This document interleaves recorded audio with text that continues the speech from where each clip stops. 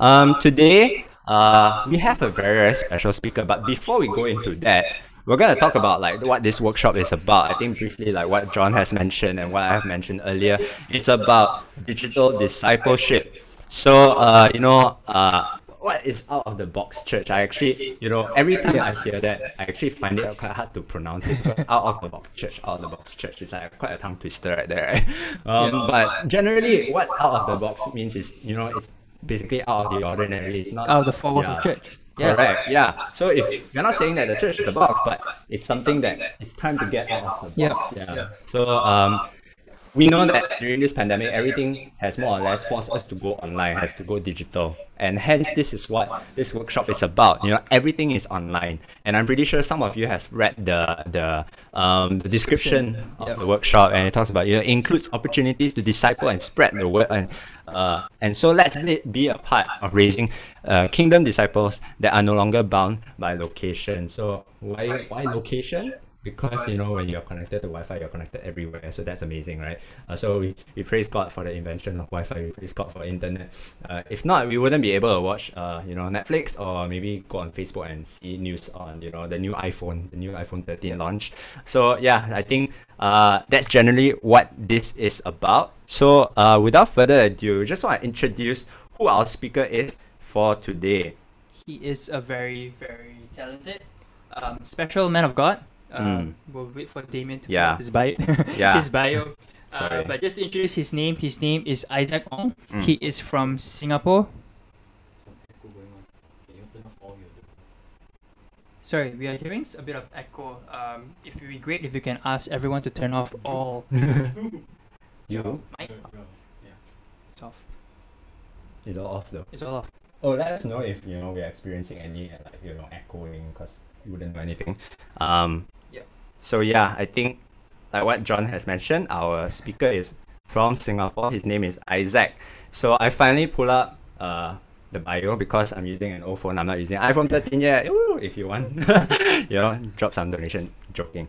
All right. So Isaac, you know, is passionate about Isaac Ong is passionate about Jesus, the cause of society and young people. You know, and he's currently serving in Cornerstone Community Church and also runs his own social enterprise, Colors Global, a company that architects solutions to tackle social issues in Asia and also has an arm that does social media work. It is through music, missions, and stories that he brings messages of faith, hope, and love.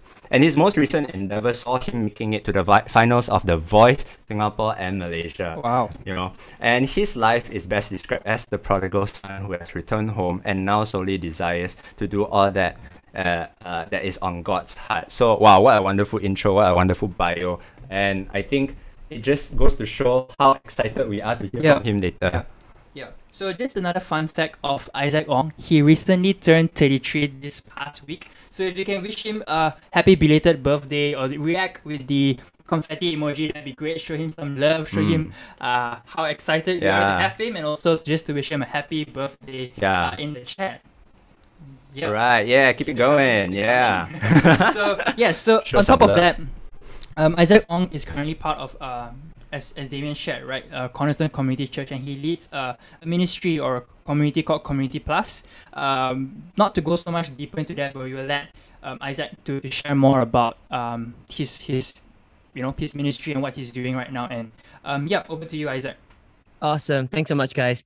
Hey, everybody, welcome to the workshop called the Out of the Box Church. Uh, we are really kind of out of the box lah, huh? This year and last year with the pandemic and everything that's going on. I think we've been pretty much out of the box, but coming to this workshop means that uh, Zoom is the box. And how do we get even more out of the box? And so the fact that you're here today, I'm really excited for you. It means to some degree you are ready to go even further and deeper. So I'm not too sure if you're ready for that but it is going to be a good one. Um, I'm really glad to be here um, as they shared a little bit about the intro of myself. I'll give a little bit more introduction and then I want to get into the meat of why we are here and the things we're going to talk about. Uh, as mentioned, I just 30, uh, turned 33 this week. Uh, very happy to be 33. I think it's a beautiful age uh, to be at, to be in a place uh, to really help to bridge even more the cry of the younger generation who are like, we want more of this and then also understanding the hearts of the fathers and the mothers and the people that have gone before us that have established a way and a route that has really built the church. And how could we be in this little sandwich space to go, how can we bridge that together so that we can really advance the kingdom of God? Uh, I'm from Singapore. I'm with a church called Cornerstone Community Church. And as they mentioned, I help out uh, in the online uh, ministries. And what that is, is how do we allow the church to be even more in the online space. Uh, if you've been to Singapore before, you know that Singapore, we have no land, right? We are like, there's almost nothing else. It's like, it's so hard to build more churches here. It's so hard to get real estate and so expensive. But one of the most amazing real estate is the internet space. And it's a space that has yet to be fully harnessed in order to bring the gospel. Um, and that's something that we as a church and as churches in Singapore are going, how can we really pick that up a whole lot more. Um, so I help them with the online space. I help them with digitization. And then I also have a company called Colors Global, where we go into third world nations to work with nonprofit organizations. We find out what their goals are, what their hopes and desires are. We work with them to help them to achieve those goals. And then locally, we have a social media agency where we help out nonprofits and we help out uh, companies, organizations, government bodies as well uh, to get even stronger in the social media uh, online presence. I'm going to quickly share some slides. I'm going to toggle in and out of slides here and there. Um, but yeah, you're just going to, all right, you guys can see this, okay? Okay, I'm not going to make it full screen, okay, because it's going to mess up my screen a little bit. Uh, but yeah, so we're in this session called the Out of the Box Church, and I call it New World, New Possibilities. Uh, why I say that is uh, you know, before the pandemic hit, uh, we vilified the internet really bad, right? A lot of us like, I tell you, ah, you use your phone, phone, phone. You're always on your phone. You better off your phone, ah, play and play and play. Ah, what have you? And we all got that right in, in church. We're told, told not to use our phone. Now everybody's like, hey, take out your phone. Please scan the QR code. Hey, take out your phone. You know, register online. Hey, take out your phone. And and so what was used to be vilified, now we are all on board and we're going, hey, we need the internet space. We need to digitize. We need to be effective online. And I know, I know there's this tension point, at least among the churches. They go, but Isaac, if we go online, will we lose a congregation physically? And I think a lot of times when it comes to church and narratives like that, I don't know what it is. We always love to do the either or thing. It's either Holy Spirit or it's just the word. It's either like deep worship or it's prayer. And it's actually not either or, it's always both. It's both.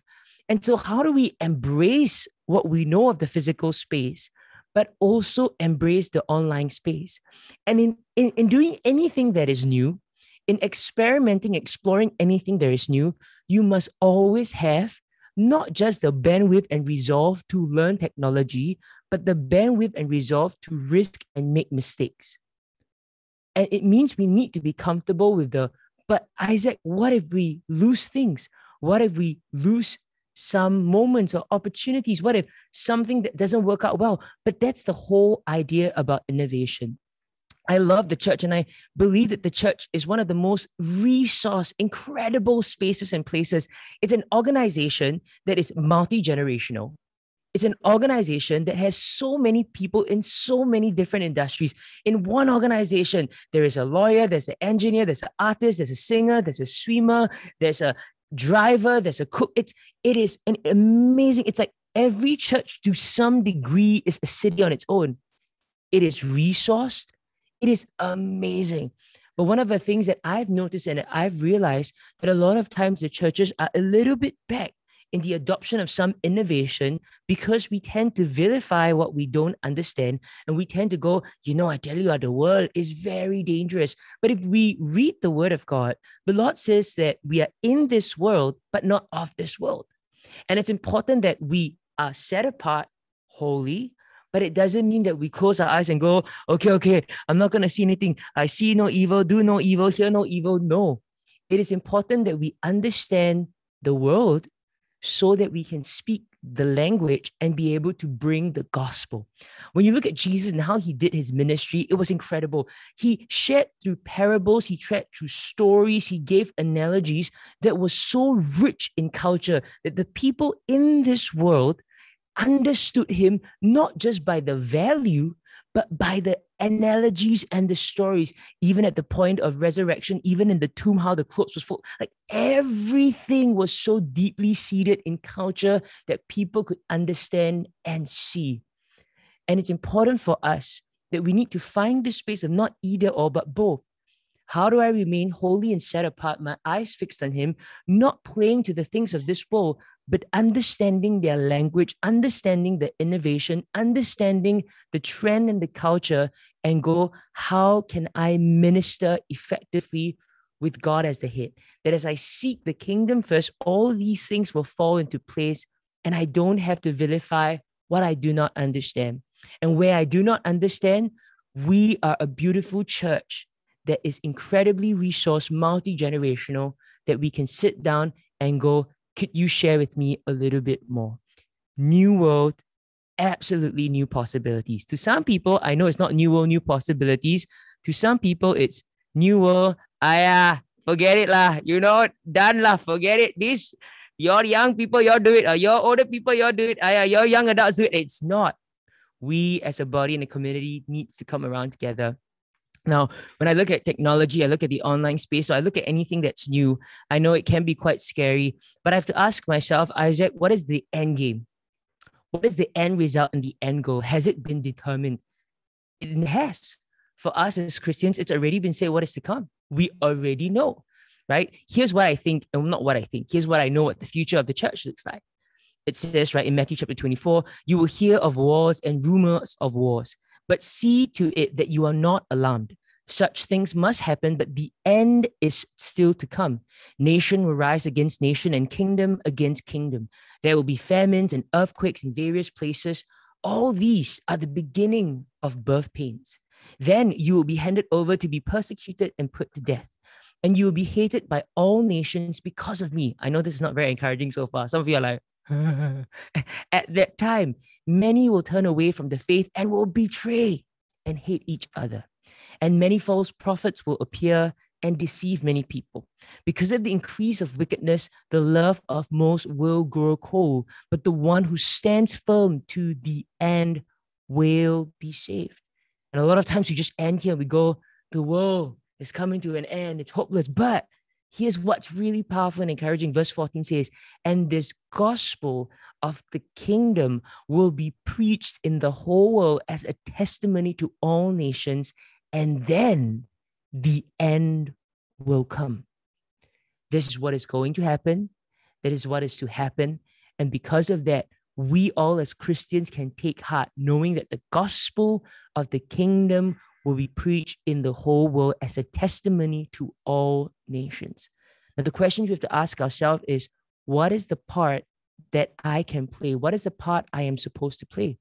I want to read another verse in Matthew chapter 5, verse 13 to 16. It says, Let me tell you why you are here. You're here to be salt seasoning that brings out the God flavors of this earth. If you lose your saltiness, how will people taste godliness? You've lost your usefulness and will end up in the garbage. Verse 14 says, Here's another way to put it You're here to be light, bring out the God colors in the world. God is not a secret to be kept. We're putting, we're going public with this, as public as a city on a hill. If I make you light bearers, you don't think I'm going to hide you under a bucket, do you? I'm putting you on a light stand. Now that I've put you there on a hilltop on a light stand, shine.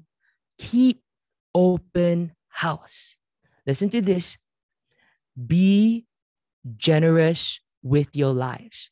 By opening up to others, you'll prompt people to open up with God, this generous Father in heaven.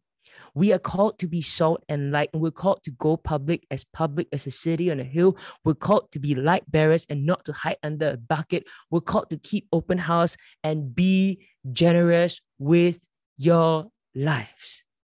But Isaac, my privacy, internet privacy, I totally understand. And I'm not saying give us your bank account. You can give me a uh, no, no, I should give you my bank account, not you give me my your bank account. I'm saying don't release information that shouldn't be released.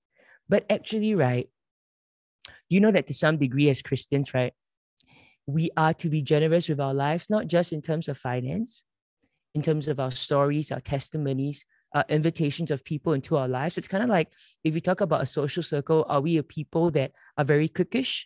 Or do we allow people into our social circles? Are we a people that hoard our finances? Or do we share with one another and bless those who are in need? And when it comes to social media, I want to put a challenge to you, and I'm here to push and challenge you.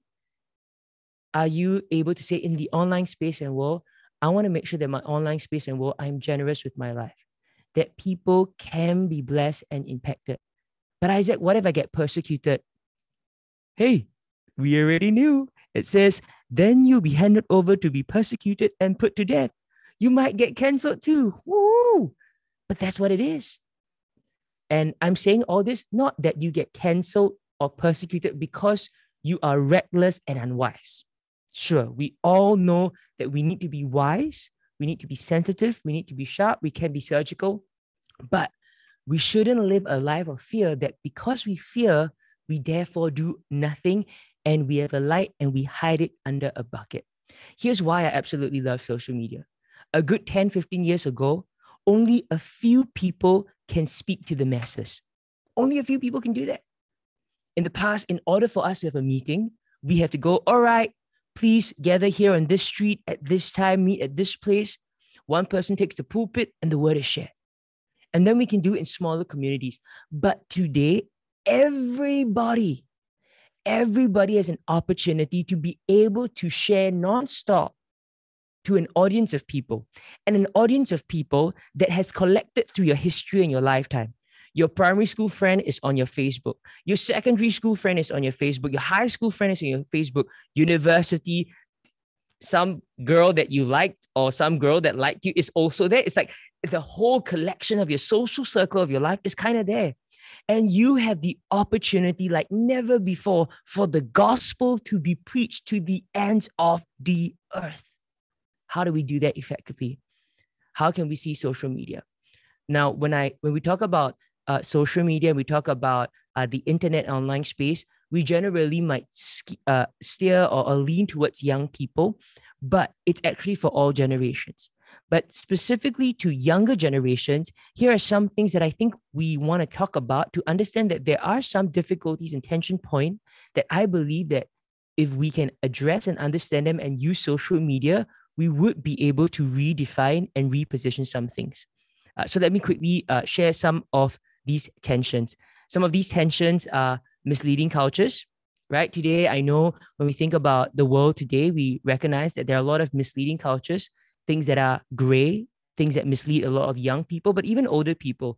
In fact, now we're seeing this thing where we call it the deconstruction of faith, where people that have been Christian for 30, 40, even 20 years are beginning to say, I don't even know whether this faith is legit anymore. And they're beginning to break things apart.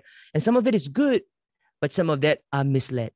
We have trendy values, values that may seem socially acceptable, but biblically, that has nothing to do with values that the Bible upholds. We see a greater sense of brokenness. I don't know about you, but here in Singapore, we're seeing greater rates of suicide. Uh, a lot of people have mental health and mental wellness issues. There's a lot of brokenness. We see also consumerism, right? Especially when it comes to church spaces in the beginning, when church really first started in, in spaces and places, there was greater ownership, right? People were giving up their cars, people were giving up their houses, people were giving up their all these different things.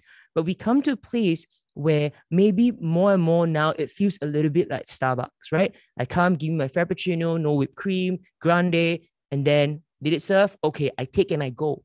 We see a sense of consumerism, and, and our faith cannot be uh, built on consumerism. It cannot be just okay, transactional. It's a deep relational thing, not just with God, but with one another. And then, especially in today's culture, there's such a huge distaste for religion, right? People are like, ah, you know, it's just religion, it's just routine. I don't want to be part of it. Here's our work as the church.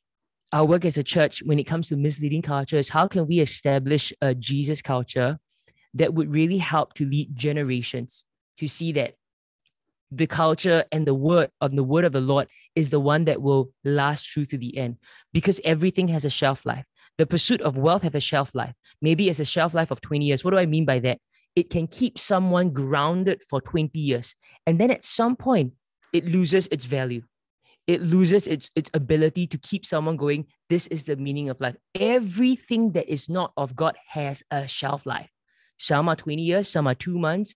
If it's a relationship, maybe it's a year. If it's friendship, maybe it's 10 years. Everything has a shelf life. And as the Bible says in Hebrews, everything that can be shaken will be shaken. And the only thing that cannot be shaken is the kingdom of God. When it comes to trendy values, how do we review Jesus and show that he is truly the way, the truth, and the life? Jesus is not an alternate lifestyle. Jesus is truth itself. And so when we share with people about Jesus, it's not about, hey, I know life is good, but with God, it's better. That is wrong pitching. I know that that is more palatable. But when we say Jesus, the way, the truth, and the life, we're not saying Jesus, I know life is good, but Jesus is better. We're actually saying this life without God is death. And that's really actually the correct pitch. Uh, when we talk about brokenness, how do we as people carry his love? When we talk about consumerism, how do we not raise spectators but raise disciples? And we talk about distaste for religion. How do we as a people sit down to rethink Christianity, not rethink the Bible, but rethink some processes, some perspectives that are humanly grounded and created and go, how can we minister even more effectively? Here's the desired outcome is that with misleading cultures, by creating a Jesus culture, we create a culture of vibrancy and life givingness. Instead of trendy values, we see that Jesus glorified. Where there's brokenness, we see wholeness. Where there's consumerism, because we raise disciples, there's greater ownership. And for the distaste of religion, we rethink Christianity, represent it, represent Christ, that there will be once again deep intimacy with the Lord and not just familiarity with programs. And so these are the things that we are dealing with in this generation. And there are many ways to approach it in the church, in work, in many, many, many ways. Uh, but today, for this afternoon, what I want to talk about is the online space and how we can effectively reach out to people, to the masses, like I mentioned, like never before. We are able to reach out to people, to the masses, and to do it effectively through the online space. Now, I want you without thinking so much, okay? Just help me to let me know in the chat box what is one word if you could just describe social media the first word that comes to mind when you think about social media when you think about digital world what is the one thing that comes to mind it could be instagram it could be scared it could be my mother stalked me it could be i don't know it could be i want to post more it could be child of god i don't know what is one thing when you think about social media the first word that comes to mind? Borderless, influence, superficial, renting, revolutionary, presence. Very cool. I love the honesty. Keep it coming.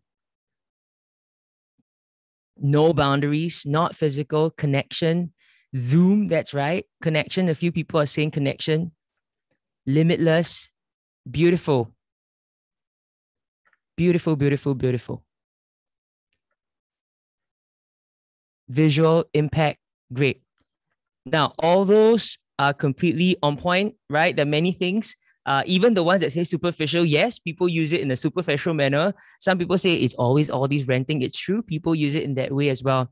Now, I want to share with you how I really uh, see social media, and it's it's it's my approach at how I, I I digest and understand social media, and it determines and defines how I approach it and what I do with it. Uh, and the word I want to bring to us is this word called community. Um, I recognize that social media is really actually community. Uh, and what do I mean by that? Um, you know, when it comes to uh, social media, especially when it comes to churches and organizations um, or ministries, a lot of us use social media, right, as a notice board. Hey, come for my event. Hey, this week there is baptism. Do you want to get baptized? And those things are cool, but you are severely underutilizing social media when you leave it as a notice board. I don't know whether in your high schools or universities in the past, they used to have all these notice boards, you know, and people would take a lot of time and they'll go and put the, the words very nice. They put photos on the notice board. And you know who cares about the notice board? Nobody. The only people that care about the notice board a lot of times is actually the people who do the notice board themselves. They're like, wow, very nice. Look at it. I do the border very nice. I do the photo very nice. Yeah, yeah. I've been in school for a long time and I rarely checked out any notice board. I never saw people come around on notice board and say, wow, the border very good. Ah, wow, the photo is very nice. Only the teacher in charge and only the designers. No one else really cares. And here's what it is social media is not an enlarged notice board. Social media is actually a place and platform for deep community and friendship. That's what social media serves to do. And when we begin to see, right, that the people in our online space and world are not just followers and following, they are community, we will be able to, all of us, actually effectively build community in the online space. I think it's wild that in the past, you only have like, you have cell leaders, you have connect group leaders that have 10, 20 members. But right now, every single person has actually a following online, whether it's your WhatsApp friends, whether it's on Facebook, whether it's on Instagram. It's crazy. On a personal level, we have people that we can inspire, we can speak life to, and we can represent Christ. And as a church and as an organization and ministry, when we begin to see our social media not as a notice board, not just to share announcement, but to say, how can I effectively build community?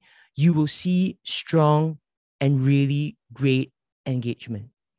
What do I mean by community? See, it's not just about announcing, it's not just about creating nice designs or great content. One of the things I shared with the organizers before coming onto the workshop, I said, hey, I don't want to take the afternoon to spend time with talking about what's a great design, what is a great video, what is a great, because these things, honestly, each of you can sit down in teams and work it out, creatively think about it, research about it, and you will be able to have all these things. Really, actually, honestly, if you Google, you will be able to find many templates, in fact. But the importance is how can we see it accurately so that we can decide how we want to design our things, how we want to approach uh, social media and that is to build community. Uh, one of the things I talk with a couple of churches here, nonprofit organizations, is this. I said, you know, one of the things that's important in understanding community is that we must recognize that these are real people that are walking in and out and they're saying hello. They're liking your videos, they are commenting, and they are actual people, and you must connect with them. And I said this, hey, all of us, right? You see, what we can do is all of us can create great videos. And right now, what we see is a lot of people creating great content right? They create great videos, they create great photos. And what they see is, oh my goodness, Isaac, did you see my latest video? I got 10,000 views. And I'm like, whoa. And then another church says, Did you see my latest post? I got 5,000 views. And they're like, Yeah. And then another person says, Oh, I got 200 views. And I'm like, whoa. And everyone is shouting about how many views they have. And it's not a bad thing. There is a ministry that is unique to the content itself. That means when I create a content, it can bless and speak into people's lives. But the question we have to ask ourselves is what do we do with these views? What do we do with these likes? What do we do with these followers? So it's kind of like this. It's like imagine, right? You create a great video or you create a great content. That's like creating a really great net, a fishing net, okay? And so we cast it into the water. And as we cast into the water, the net catches, example, 5,000 fish. So that's 5,000 likes. The next boat, the next social media account, the next content captures 2,000 likes. The next boat, another church connects 10,000 fishes and likes. And so across each other's boat, we're shouting, I've got 10,000 likes. I've got 5,000 views. Here's the problem. Can you pull up the 10,000 fish? Can you pull up the 5,000 fish? And often we can't. And so they are just fish in the water that you can say, I caught. But then you won't be able to pull up. You won't be able to harvest or harness. And then you have to let them go eventually. And that's it. And in understanding that is because if we only see social media or the online space as a place of notice board or broadcasting comment, uh, uh, uh, content and not a two-way street and not community, we will continue to fixate on how to create great content, but not think about how do I make sure I design great and strong engagement to make sure that I can pull the people that I've reached out to the people that I've created content for. When we do social media of a couple of churches, uh, a lot of times say, Isaac, I've got the great team. I've got a team of a designer, I've got a videographer, and I've got an admin person. And I go, that's great. But I'm telling you, you're losing two other positions. And they go, what? I said, you need community managers. You need two people that will sit at your Instagram account, sit on your Facebook, and they are connecting with people. Because actually, right, when they walk past and they like your post, it's like somebody saying hi, but you don't say anything. What do I mean by that? If someone comes to church today and they go, Pastor, that was a great word. And then the pastor keep quiet and never say anything. You know that you're gonna get a WhatsApp message. Pastor, I feel very offended. You never reply me, you never shake my hand. How come you never love me? Right? And it's kind of like that. I mean, people of course don't get offended, but what I'm saying is that every time someone likes our post or comments, right, it's actually an opportunity to respond back to them. And that's how you build stronger engagement. And that's how you connect with people and not let them just pass on through, pass on through, pass on through. And then at the end of the month, we give a statistic report that says, I've got this amount of views and this amount of likes. How do we engage and connect with people? It's a two way street. I speak to some churches and ministries and I say this, hey, how's your Instagram account? They go, oh, I've got 5,000 followers. And I go, hey, how many are you following? And they go, we follow five. So I say, oh, who's your five? our senior pastor, our executive pastor, our youth pastor, our admin, and then our youth intern worker. And I go, mm, you, we, we actually care about people's lives, right? And they're like, yeah. So I said, why don't we follow all 5,000? Ha! But we won't look like a legitimate account. You know, our account won't look so like beautiful. We've got so little, we, we follow more people than follow us. And I go, who cares? In the outside secular world, sure, they can, they, they, they want to present an image like that. But for we as the church, wouldn't we want to be able to see through our account what other people are doing and comment on their stories, comment on their lives? If someone is, you know, in Instagram or Facebook, if someone posted, hey, uh, uh, hang, hung out with my granddaughter today, wouldn't the church want to comment on that post and say, that's really beautiful? Have a great week. And that is engagement. And that is making sure that we build community. Now, I'm now talking about this as if it is uh, being polite. But I want to tell you that this actually affects the algorithm of how well you perform on the online space. Now, let me elaborate a little bit more. Okay. Now, some of you, if you've been on Facebook, you've been on Instagram a long time, you've noticed something that as you have more friends, you have more followers, some of the friends that you follow, you stop seeing their content already, right? Have you noticed some of your friends that you see, hey, you don't see their content anymore. And then we begin to, hey, they actually are still posting. They're only, they're still active. But right now, I only see like the top 50 friends, right? Or maybe only 20 friends that I always see on my timeline. But there are a lot of people that are missing out. And we think that maybe on oh, Facebook and Instagram is trying to wreck my life and there is some conspiracy but there isn't a conspiracy and they are doing what they are supposed to do, which is this.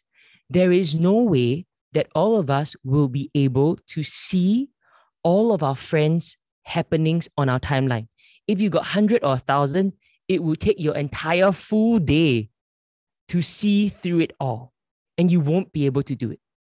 So, Instagram and Facebook has to determine and decide who are the people that are important to you who are the people that you care about? And based on who are the people you care about, I will make sure that their content appear the highest. It's what we call algorithm on your timeline. How do you do that? They look at algorithm. Now, what this is is actually very normal in our settings. For example, if all of us today were in a room and we all sat down in a circle and we're all talking to one another, and you meet me for the first time and you're going, hmm, I wonder who Isaac knows here.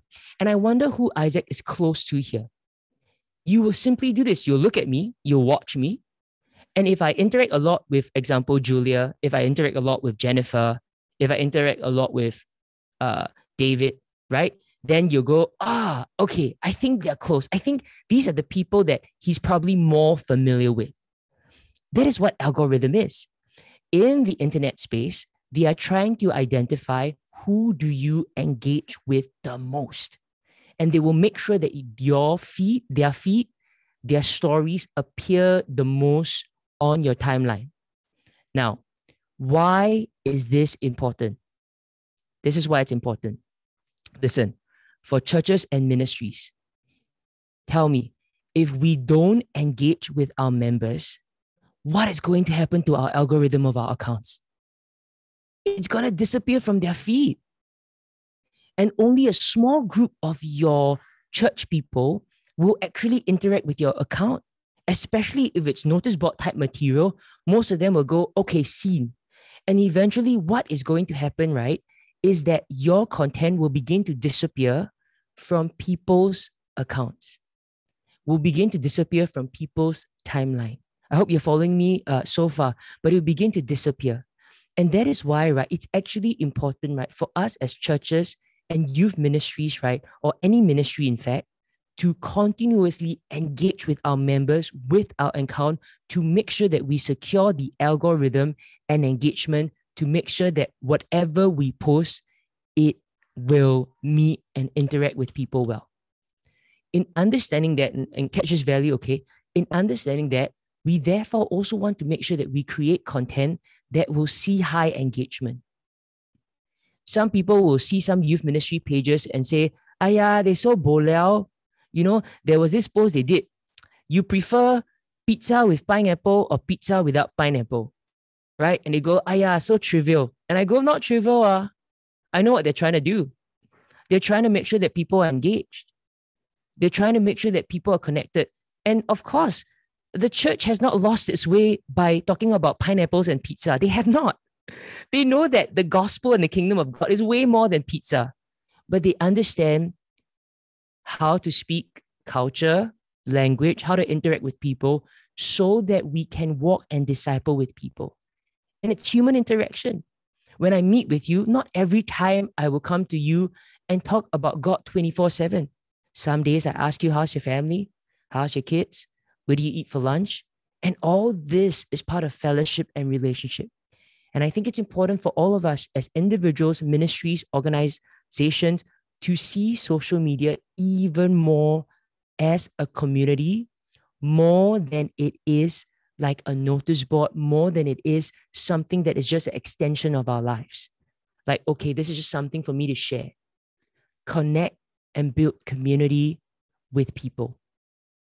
I've talked a little bit about ministry and organization, but I, I think it's also important for us to understand how to do this on a personal level. It's the same concept, it's the same theory. And what that means is that we actually will have to give up time, right, to make time for social media. Um, I've spoken to some pastors, and some pastors have taken it on. They now wake up at about 7 a.m. before everything starts. And from 7 to 8 a.m., they spend one hour on social media. And they go, Isaac, I really don't like it, but I understand that I need to do it. And we have literally seen people come to know Christ We've literally seen people get blessed and healed. And more important than the immediate impact, it is what is that long term impact and effect of a pastor example or as leaders or as people going around to message people? What is the impact when you, example, see one of your members or one of your friends, right? Example, you saw one of your friends, they just sent their kid to the first day of school. Can you imagine you message them and you you you press the voice record and you said, Hey, Sharon, uh, saw that you sent your kid to school. Uh, thought I just want to pray a prayer of blessing for you. Lord, I pray for Sharon. I pray that you guard her heart. I pray that you bless her. God, we pray for her child. That as the child goes to school, that they will learn so much, they will come to know you and find great friends. We love you. We thank you. In Jesus' name we pray. Amen. You just positively destroyed someone's life. Imagine a church account did that to its people. Every day, somebody gets a voice message from one of the pastors, the leaders, the staff. Hey, Gabe, you know, I saw on your Instagram stories that you're not having a great week. I saw you write a very emo word, if only on a black background, and I know you're having a tough time. I don't know what it's about, but could I just pray for you? God, we bless uh, uh, Gabe. We pray that you give him strength, you walk with him. In Jesus' name we pray. Amen. A lot of new innovations, their new innovation is in its technology and in its like infrastructure. But at the core of most innovations, it's all driven by love and human need and desire that has not changed through time. And so, actually, all of us have no excuse except with just learning how to pick up to use the platform and learning how to pick up to use the technology. But the essence and the core of it doesn't change. Some of the best people on social media, some of the best people in online space are not the most creative people. They are people who are the most authentic. Uh, one of the top YouTubers, there's this guy, he doesn't even do a lot of crazy editing and it blows people's minds. He doesn't do all these like grand like filters and power CG. In fact, it's like such a basic camera with very terrible editing, but he's one of the top YouTubers because he knows how to connect and relate to people on a heart to heart level. And that's something that we've got and we are able to bring in to do. And so I want to encourage you if you are running a ministry, if you're part of an organization, if you're doing church, consider what it would look like to do community through your social media space. Don't worry about the graphics, all that will come along, all that can be picked up. But first ask yourself, what is social media to me and what is this online space to me? The second thing is for us on our personal accounts. How do we use our personal accounts to bless other people? How do we reconnect with friends? How do we reconnect with people from the past? It's by simply commenting. You could send voice messages of prayer. You could wish them happy birthday. You could like their post. It's these little things that will deeply matter. And you know it because if anyone did it for you, you would have been so touched and you go, wow, that really blessed me and that really helped me. I want to show a little bit of a, a bit of some examples of um, one second now to show some of the things that are possible to do. Oh, I nearly clicked leave meeting. That wouldn't have been good. Okay, here we go. Okay, so this is uh, this is my account, and um, when I started this Instagram account of mine, I just literally didn't care about, oh, I want this many likes and I'm trying to grow my following. I literally just went, I'm just going to share my life and I'm just going to try my best to be a blessing as much as possible. And I recognize that my community is really a community in a space where I get to talk about things, share about life. And that's what I did. I just shared about life. I shared about things. I shared about, you know, my journey, my process, different things like that and I would even create content for my community. And so I literally saw this group of people as people that are people that the Lord has asked me to steward and take care of. And so I remember last year when the whole COVID situation hit, I I I I I knew that a lot of people were very tired and burnout. And so I said, okay, you know what? I'm going to create this series called Burnout. Right. And so I said, okay, I'll call it Burnout. I called a couple of friends. Hey, you know, do you want to come on and do a, a Instagram live with me? And let's talk about burnout. And they're like, hey, so who are you sponsored by? I go, I'm not sponsored by anybody. Then they go, huh? Then why you do it for what? Then I say, oh, I'm sorry. To be a Christian means you must be influencer, man. Then they're like, oh yeah, that's true. Ah. Okay, okay, let's do. And what I'm saying is, sometimes I don't know why we create all these rubrics and standards that actually is not necessary. Did not the Lord entrust me with these people? Am I not going to meet with the Lord? And He's not going to just ask me, hey, how many cell members you have? Huh? Uh, how many children you have? Huh? He's actually going to ask, to some degree, yeah, hey, what do you do with all the followers you had on Instagram? That 100, that 10, that 15, that 20. And I want to say, Lord, this is what I did. I blessed them and spoke to them into their lives. And so I said, okay, I'm going to do a burnout series. I'm going to do a couple of things called like burnout. Uh, it's a good rainy weather and it's good to sleep in, but I'm awake because I've been thinking about something that's deep on my heart. Um, if you've been following my Instagram stories, one of the things that I'm deeply passionate about is mental wellness. Initially, I thought there's no need to really talk about it because mental health awareness month just happened. Um, but I thought, you know what, within my own community, space, friends, fam, uh, there are a lot of people that wrestle with this, and sometimes we don't talk about it or we don't feel comfortable to talk about it. On a weekly basis, I do get uh, people texting me, Isaac, could you hook me up with professional counseling? I do get people actually. So creating- I did that, and then we did a couple of IG lives with a few people.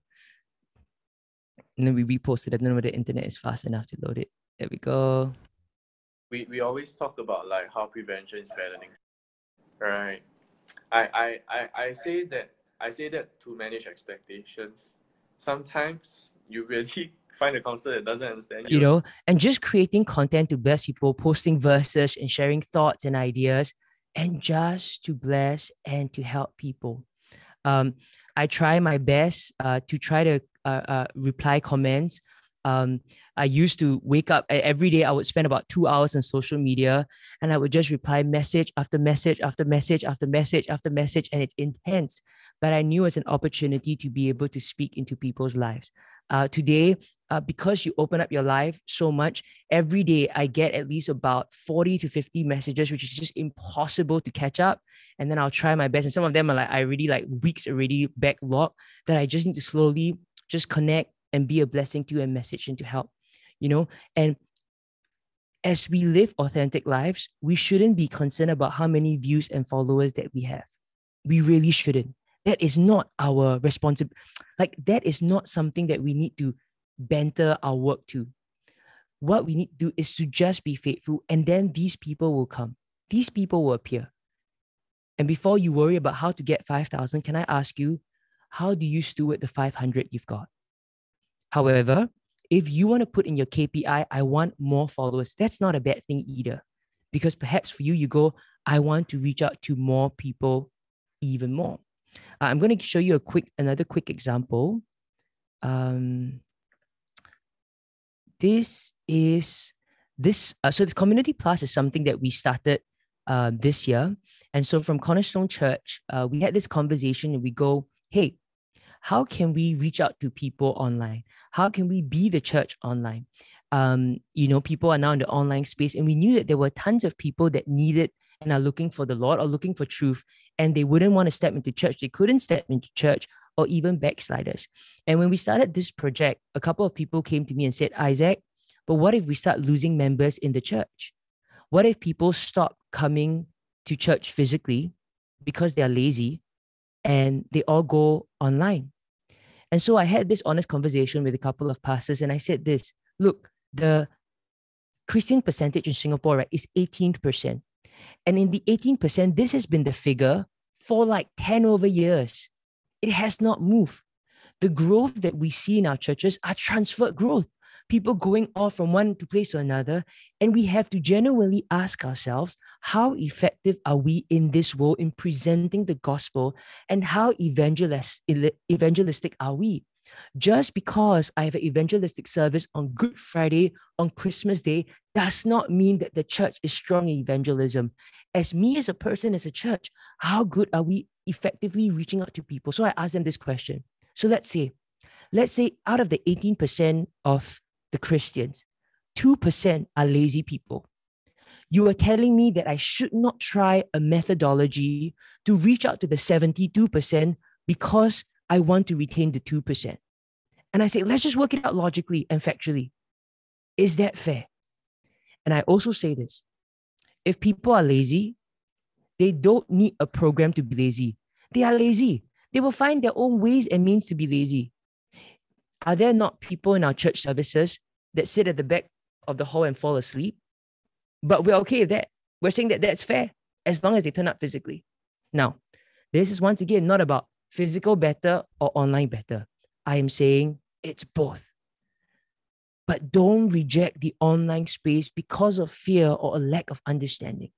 And so we decided here's what we're going to do we're going to try to go into the online space. We're going to try to reach out to people that are backslided, people that maybe work on Sundays and they can't go to church, people that are looking for truth, people that have been in Christian schools. That means uh, in high school, right, they went to a Christian school and they have a knowledge of God, but they never said yes to Jesus. Every year, we see thousands of students graduating from these high schools. And I go, those are people that we can reach out to. Those are people that are familiar with the gospel. Let's continue to water, let's continue to disciple. So we came up with a couple of things. It was started with just a simple good morning post, you know, things like that.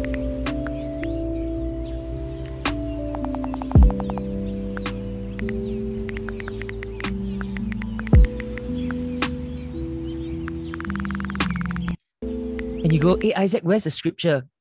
It's okay. You see that not every post needs to be so like, wow, Jesus.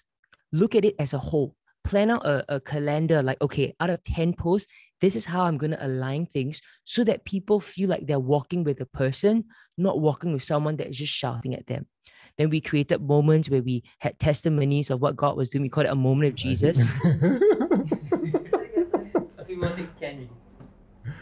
Hi, Community Plus. Uh, it's the start of a brand new week. I hope you guys are doing well and enjoying your week so far. I know it's the start of a new work week and maybe some. Uh, we did different things. We had services and then we recapped the service in an interesting way, different way.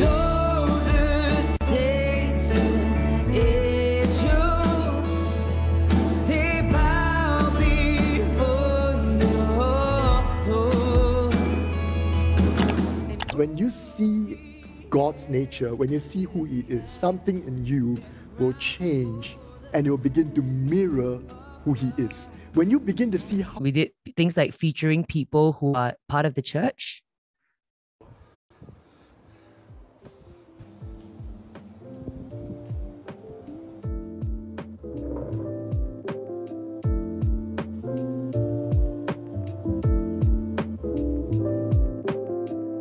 and just showing that like hey the faith is not just about sitting in a circle and playing the guitar. The faith is pervasive, it's everywhere. It's living life and loving God through all that we do. That looks yummy, of course. So we did a couple of different things, featured different people, talk about different things, more like, you know, moon of Jesus, more interesting things. Ask, how have you been?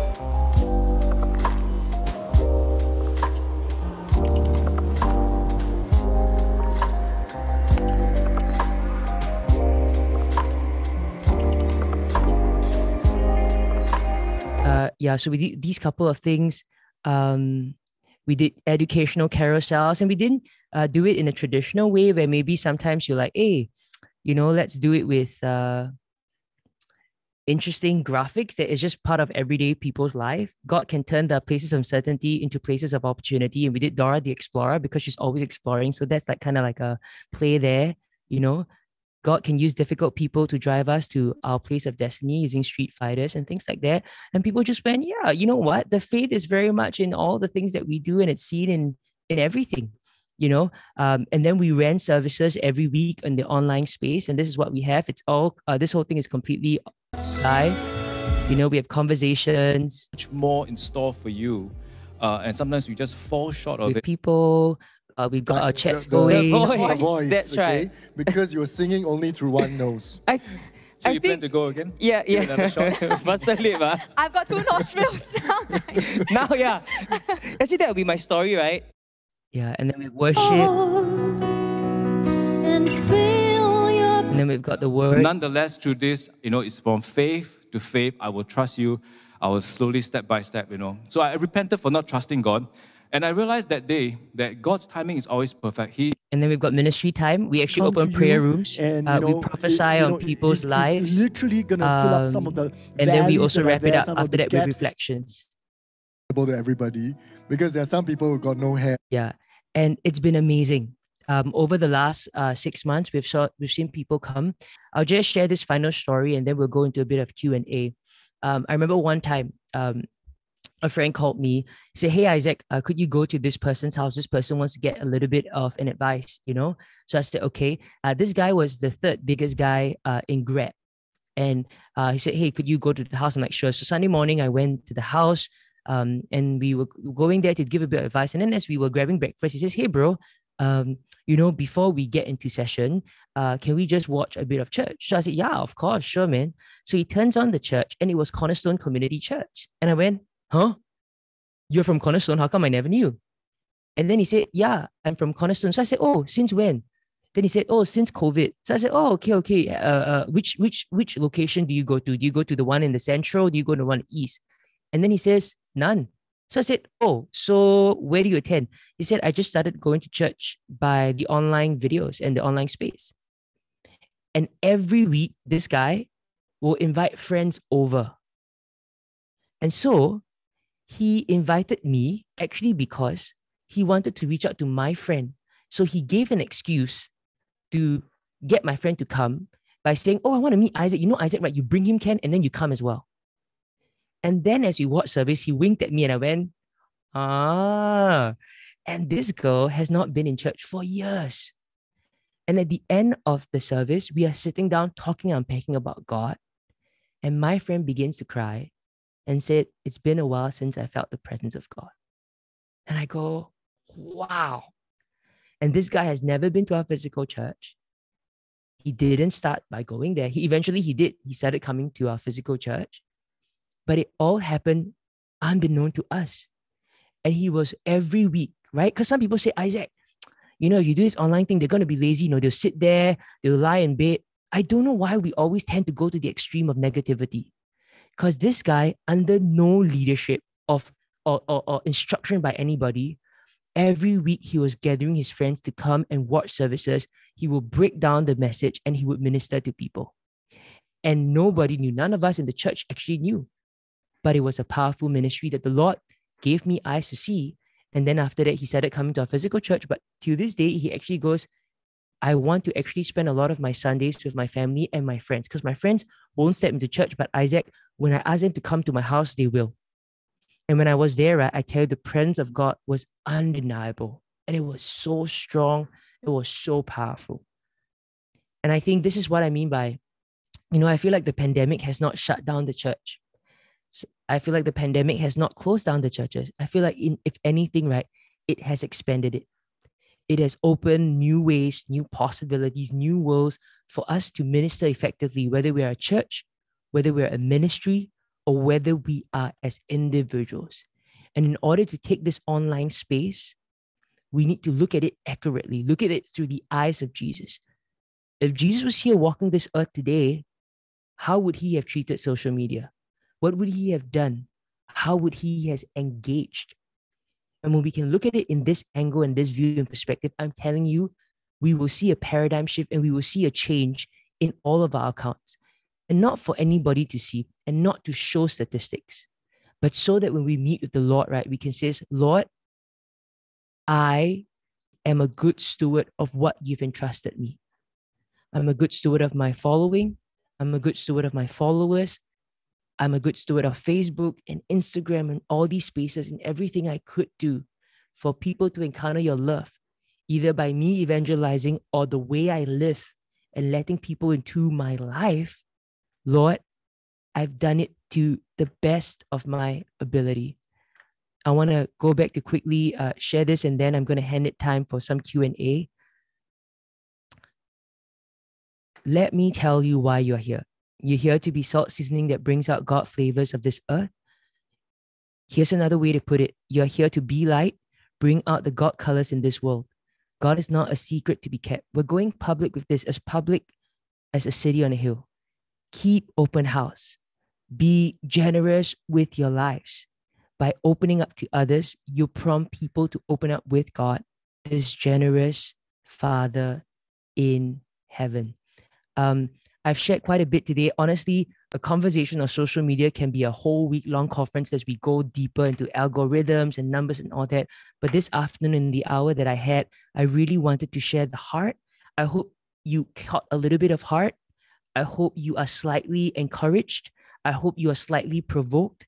I hope you're slightly agitated, irritated, and I don't think it hurts if you're slightly offended. And really to go back and sit down and pray and says, Lord, how can I steward my ministry's social media online presence a bit better? Lord, how can I steward my personal social media a little bit better? And as we view it, and as we view it as community, I am certain that everything else will come into place in terms of creativity, design, all these things will come into place. But let's get our heart right uh, when it comes to digital era, online space, and the church that is really out of the box. Yeah, I'll hand it back the time to the guys. Yeah, thank you so much, Isaac. I think that was really, really uh, inspiring and also really uh, so, so full, right? I think I think for everyone, uh, why don't we just give Isaac a clap, you know, a reaction of a clap uh, in, in the chat or just, just say thank you, Isaac. And we're going to go to, to the time of Q&A, right, Isaac? Uh, we have one question actually that there was uh, DM to us, and I'm just going to read out and see how we can go from there. Cool? Sure. Yeah. So uh, the question is, is there, to be effective, right? Is there a minimum number that the team, that the online team should have to be effective? What do you think about this? I, I, I think that it's going to be quite uh, intuitive, meaning that it's it's almost like running cell group. It's almost like running, you know, a church and, and a social group. You will probably need to figure out how many people you need to be able to steward it well. Uh, but if you don't have the full resource, then it's just to work with what you have. Uh, but I think it's very important that as much as you value the importance of a designer, you value the importance of community manager. Because if you design but you cannot connect and you cannot engage then you're just throwing out content but you can't do anything with it. So on that note it's more about valuing and understanding the value of a community manager and then work within your means. I mean for my account i'm the only person that does everything but i, I just try to the best of my ability to what i can do. Yeah. I see. So you're you're saying is more of like um, don't stretch yourself out too thin by doing everything, just you know, spamming it out uh, to get the engagement, but more of uh, very purposeful sort of uh, content. Like we post something and then if it's you follow up through it instead of just posting. Uh, is that what? Yeah. And I guess in terms of more like manpower, if that if the question is asking about manpower, I'm saying you have to work within your resource and means, but make sure you identify the importance. I think if today the one that I want to highlight a lot is the person called the community managers. And these community managers are not people that need any kind of skills. Actually, it's very easy. They don't even need to be incredibly sociable because you need the sociability when you're up to uh, face to face with somebody. But once you're behind a screen, everybody can talk to some degree, actually. Uh, and I saw someone's comment. It says, Our prayer warriors should actually become community managers 100%. Uh, so a lot of the people says, Isaac, can I join the prayer ministry? I say, Hey, I got a lot of people in the prayer intercessor group ready. Do you want to be a community manager? And they say, How can pray? Ah? Oh, hello. Of course, can pray. And they love it. They absolutely love it. So that's a great one. Yeah. So, uh, to answer the manpower, there's a group, it's a group of uh, prayer warriors. That's like the first pool of people you engage to be community man- managers. Mm. Uh, in a way, right? Yeah. Why not? Mm, all right. I think moving on to our second question, we have uh, a question saying, was there any point and you know a situation in your life that you had to set boundaries in your social media journey? Yeah.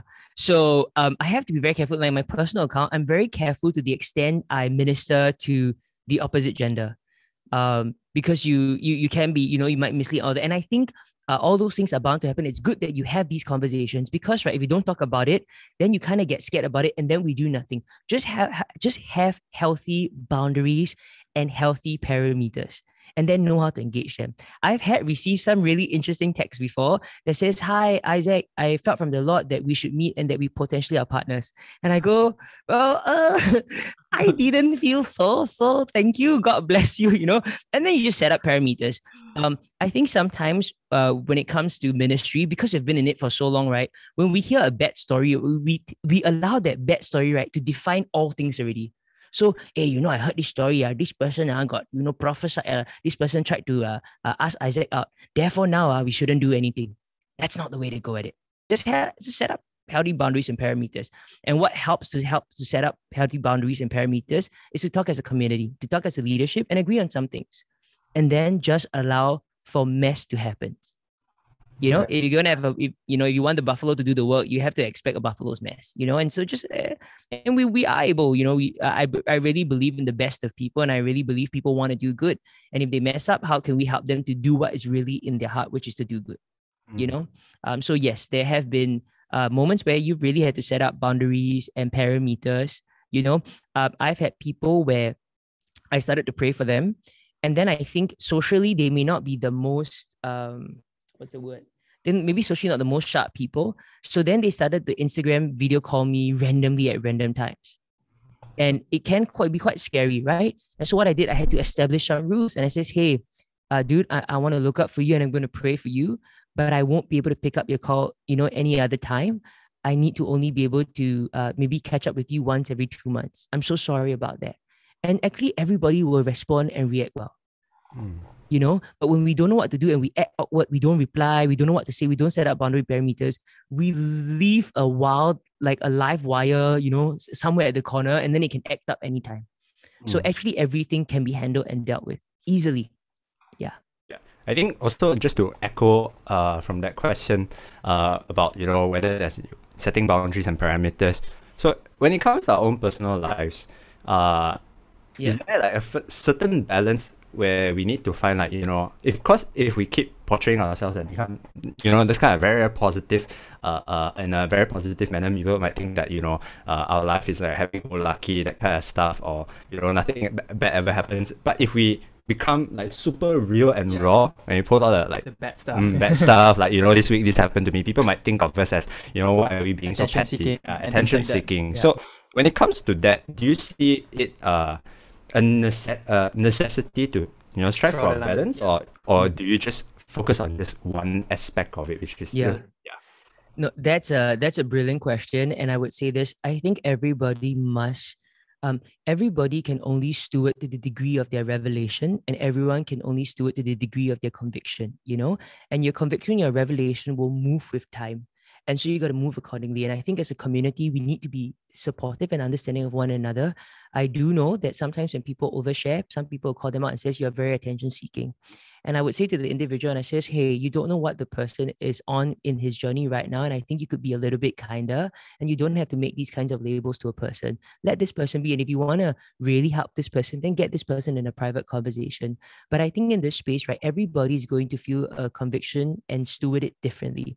Um, for me specifically, I wanted to make sure that I shared enough vulnerability about my life, the things that I struggled with, the things that I was sad about, the things that I really needed help with you know and um, but that's something that i was deeply comfortable with. Not everybody's comfortable with that. And i just want to say that while i am asking people to get out of their comfort zone please don't do anything right. You're not ready to stand by. There's some things that you go i know i should do this. I just don't like it and i do it anyway. That's okay. But there's some things that you go i don't know if i should do this. I don't really feel comfortable. I don't even know why i'm doing it but he says so i do law. I don't think you should do that I think you need to have a little bit more of a conviction and a bit more belief uh, so that you can see through it.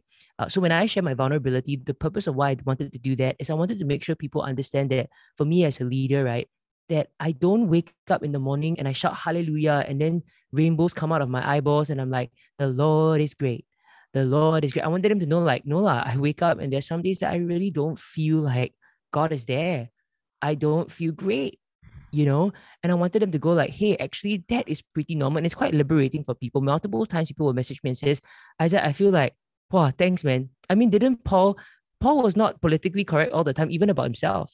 He he admitted the things i'm not supposed to do i do and the things i'm supposed to do i don't do. Yeah. Can you imagine someone say hey paul don't be attention seeking lah you shut up lah right? It's like oh you know? And so uh, okay look david and the Psalms. Is he not attention seeking? My God, you have forsaken me. Everybody has left me. No, uh, in fact, we post all that kind of Psalms, you know, on our Instagram. So I think there's a balance, but the balance must first come from you and with God. Because to everybody else, they will always see you at some sort of imbalance because everybody has their own personal convictions. I've had people come to me before and say, Isaac, I don't think you should share anything about the pain that you go through because you are a person of influence. And I said, I understand. And that might be your conviction. And great, you do that. But for me, I feel like I'm secure at where I'm at. And I feel like at peace that I do want to share my pain with other people that I may journey with them. So I think you just gotta steward to the degree of your revelation and steward to the degree of your conviction be uncomfortable, but being uncomfortable and unsure and scared are two different things. You can be uncomfortable, but there can be a surety and a certainty, and that's a good place to be. Right. Yeah.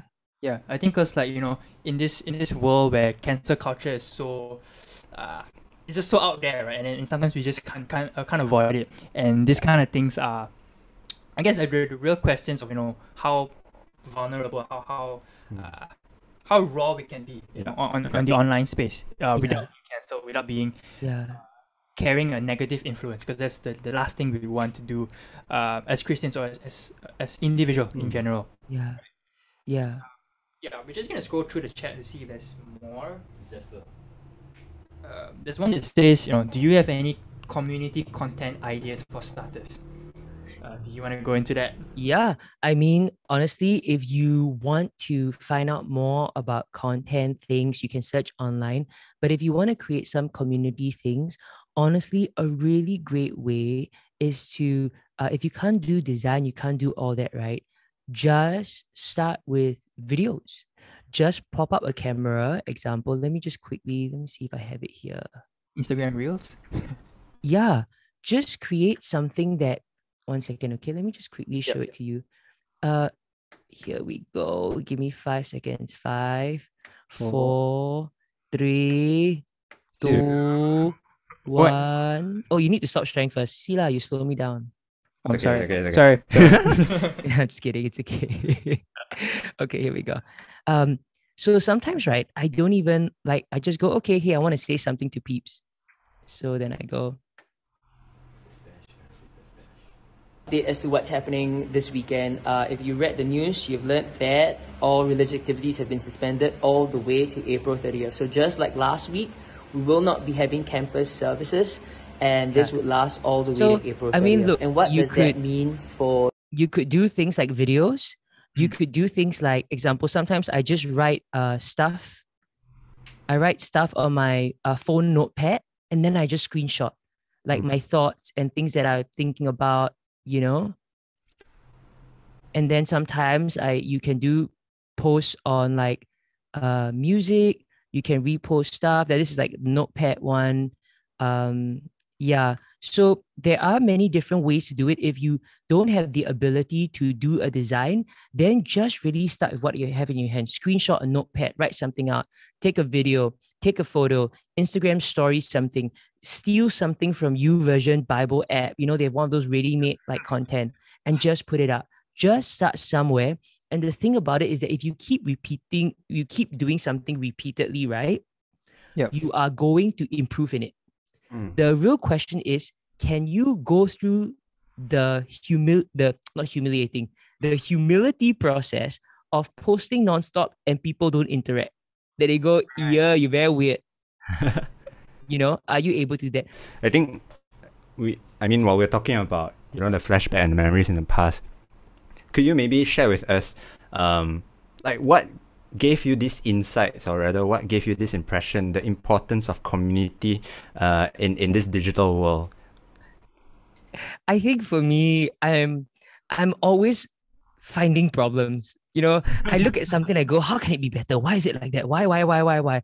I would be like the problematic child to God. You know, I have a lot of conversations with God, and some people say, Wow, Isaac, you know, God really loves you. Uh. I go, actually, I think I'm the problematic child. Imagine you got three children, right? And the one, the, the youngest one gives you the most problem. You hang out a lot of time with this problematic child, not because you love the child more than the others, but this one needs your attention a little bit more. So I'm that guy. I'm always like, God, why? Uh? Why we do this? Uh? Why like that? Uh? Why, why, why, why, why, why, why? So God's like, okay, this one I really gotta sit down, you know. If not, uh, he's gonna be a funky guy, you know. And so uh, I always ask a lot. I always go, Lord, what's the point of social media? God, what's the point of our service? Why are we doing this? Why are we doing this? Why are we doing this? And I'll just sit and wait on the Lord, and the Lord will review slowly his heart, you know, and he goes, This is what it is. Because the Bible says, right, no has seen, no has heard, no one can know what God has in store, but God has shared the secrets of his heart to his people, and that we should discern the things of this world, not just with the eyes of our flesh, but but through the spirit. And in the spirit, there are things to be discerned and things to be discovered, you know. Uh, so for me, that was that. And then I think for me, it was just by starting to post and interact online and seeing people get impacted, I go, wow, that's a ministry I never thought is really powerful. And so that's what I did, you know? And uh, yeah, just done incredible things, you know, raised money through it uh, to bless the poor, uh, run events, run organizations, run minis- uh, mission trips with 40 over people going to Batam out of the online space. Did a lot of things. And I go, the online space is incredible. Yeah. And a lot of them I've never met before in my entire life. Yeah. It's amazing. Yeah, it's good. I think you also touched on um, a bit on you know, uh, messaging or rather engaging with everybody, or if you can, you know, everybody online, uh, be it your own personal account or whether it's it's through the church or the brand's account.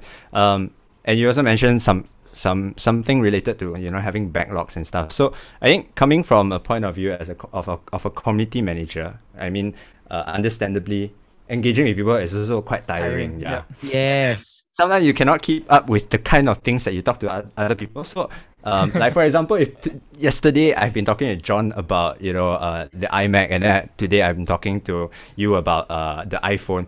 Then suddenly John comes to me and talk about like, oh, do you remember that time you talked to I me? I got you. Yeah. Yeah. So, wouldn't that? I mean, have you ever encountered fatigue? And you know, when you encountered that, uh, how do you? Uh, Get out of yeah, how do you yeah. get out of it, or how do you how do you resolve or turn it around? Yeah. So I think that uh, you have to figure out some systems and infrastructure to be able to get some of this moving smoothly for us on Community Plus. Um, a lot of our interactions are not very heavy and deep because it can get quite tiring. So sometimes we would just uh, do emojis, right? A hundred, a smiley face to someone's happening, you know? Then someone would say, Oh my goodness, so cute. And they're like, Oh, thank you. And so I would say the majority of the conversation, 70 to 80% are light-hearted. And it should be, and it's okay to do that. 20% is heavy. And so for the ones that are heavy, right, at least on Instagram, I think you can do it on Facebook as well. We flag those messages and we put it in a different folder. So you can put it in like, because normally all your messages now on Instagram, you can actually put it into the uh, flagged of flagged uh, uh, yeah. comments or even in general folder. And so we put it there and the team will know that any chat that is there, someone is looking at it personally. And then that's how we just make sure that nothing gets disconnected you know? So it's little things like that like, and then we have a group chat with our community managers for to just for people to raise up says hey there's this question that has yet to be answered. Hey i'm talking to this person. Please do not uh engage. And we're like okay okay that's cool you know? So but 80% of our conversations are light-hearted. So we don't go intense all the time to be able to keep up. Yeah but where we see there's a need where someone's in need or broken we do that yeah. So we don't like every day a hundred messages we send out how are you? Because wow that one uh, you have to finish all 100 no you must make sure you have the ability to lah. so we don't have the ability to just yet. Ideally if we could we would but we don't have that. So we manage it uh, accordingly. And then i think fatigue is natural and normal. So i think it's important to make sure that you show uh, support and love to administer to the community managers and as well as for yourself. Know when you need to take a break and go like hey i just need a little bit of time out and i can't reply uh, in this moment you know and that's okay Mm. yeah I think just to go back, right, like because you mentioned about 100 messages sent out, uh, I think maybe some people have the question of like, is it from a post that you garnered this attention of 100 people, or is it like Mm. literally where you sent out 100? Like, start the day, what you can do is send out to those 10 people. That kind of, So it could be number one, you identify, you know what, every day I'm going to decide, every day I'm going to message one person. An example, I may not want to message 10 people. So here's what I'm going to do. Every day I'm going to message one person on Instagram and I will talk to this person for the whole day. And you could even tell your friend, you could even tell the person, hey, um, you know, every day I'm trying to find somebody that I can speak to. And today I thought I want to talk to you. Um, so whenever you're free, you can reply. I'm just going to spend the day uh, messaging you. And if there are things that you want to share, you can share with me. And I just want to be here for you today. And that's it. You know, uh, sometimes it can be people that come to your comments. It could be likes. It could be maybe even like you saw a post online that you feel like, oh, this is really good for a friend. And then you share it with them. Yeah. So sometimes when we post content on our Instagram, what we will do is we will message some of our followers specifically and says, hey, we just posted new content. Uh, we thought this might be a blessing to you. Uh, so that you're having your exams, uh, have a good one. Yeah. And we make it a bit more personal. Uh, you must be careful not to ask, meaning that sometimes you will spam. That means you will what? If you go and send to people and says, hey, this new content, like, follow, subscribe yeah. uh, that's asking a lot. And I think it's better to give and give and give more than ask. lah. You know, and so Right. give a blessing to them before you ask them to follow, subscribe, do this for me, like the post. Um, then people feel like, you know, yeah, you actually really are concerned about me more than you're concerned about your page and algorithm doing well, which is what our heart is anyway. yeah, that's true. That's true. That's a good one. Yeah. Yeah.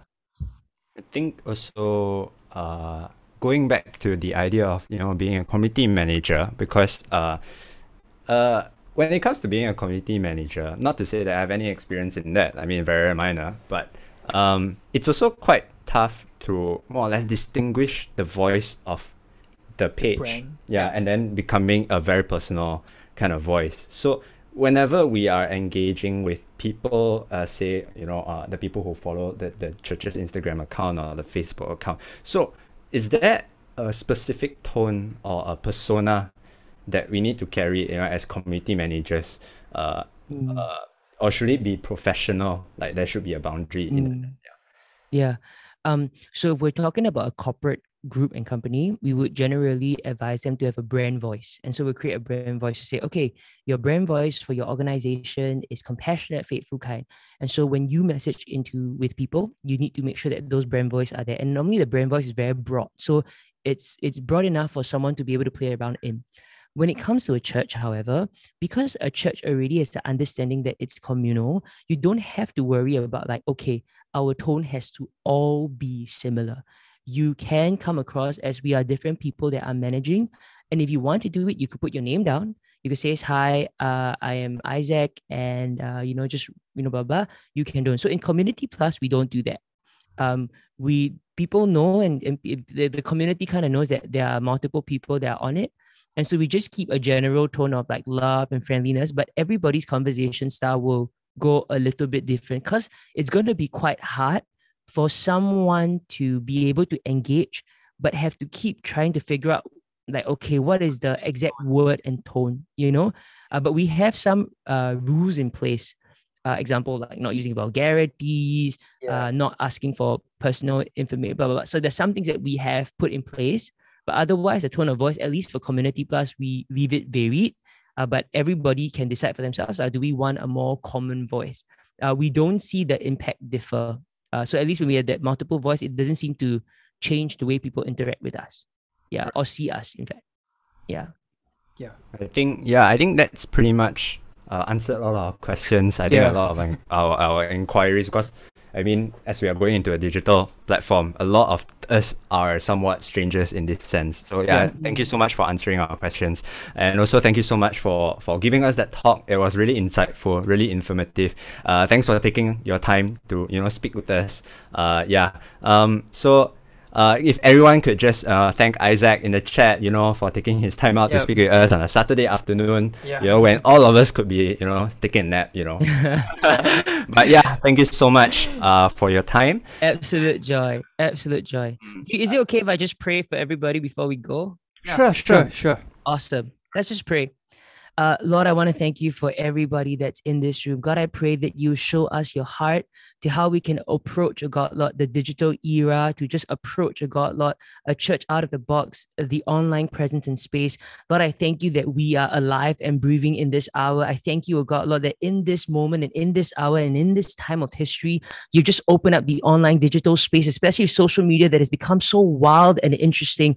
And I thank you, Lord, that you've entrusted it with us. God, I pray that we as people and we as the church, oh God, Lord, will use it for your glory. We will not be afraid of it. And you help us, oh God. You bring the right people, you bring the right strategists, you help us to come together to really do the good work that people will see and be glor and, and they will glorify you, oh God, Lord. We pray, oh God, Lord, that you uh, uh um bless everybody here. God, I pray that this conversation here, oh God, Lord, will not just be ideas, oh God, Lord, but Lord, I pray that it will just begin to stir in people's heart to look at how do I want to do my personal account? How do I want to interact with people on the online space? And even for those who run ministries and organizations, God, I pray that you will give them the blueprint, oh God, Lord. You will share the secrets of your heart.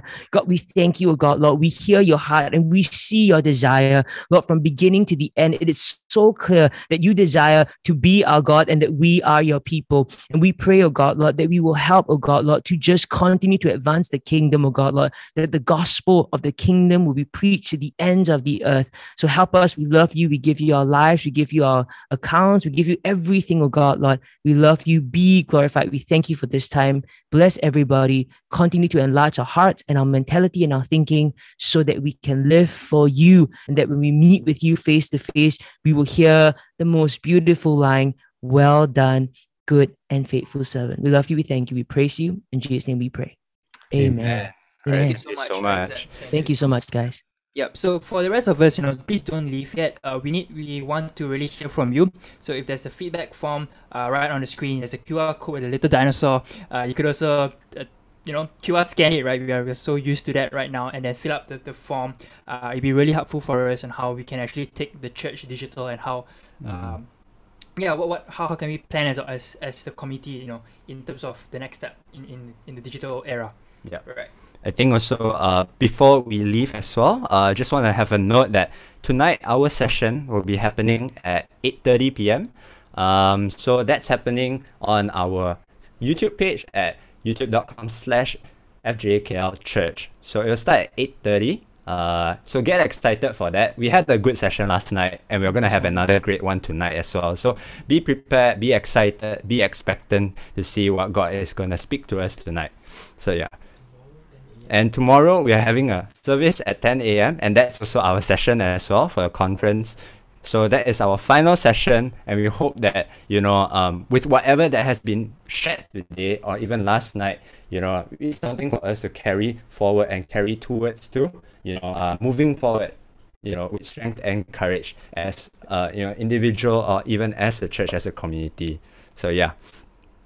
Uh, so if you have filled up your uh, feedback form, thank you so much. Uh, but if you haven't, you know, you can scan the QR code, the, the one with a very little cute dinosaur on the side. Um, yeah, so uh, please, uh, you know, just be very honest, you know, uh, give us your feedback, you know, as honest as you can. Uh, we will really appreciate it. So it's something that we can learn um, and, and take into account as we move forward together in this online digital world. Yep, and with that, I think that's it for today. So thank you very much for joining us uh, for the Out of the Box out of the box church workshop uh, and we'll see you tonight. Thank you. All right. Thank you. Thank you everybody. Have a good day. I'll see you tonight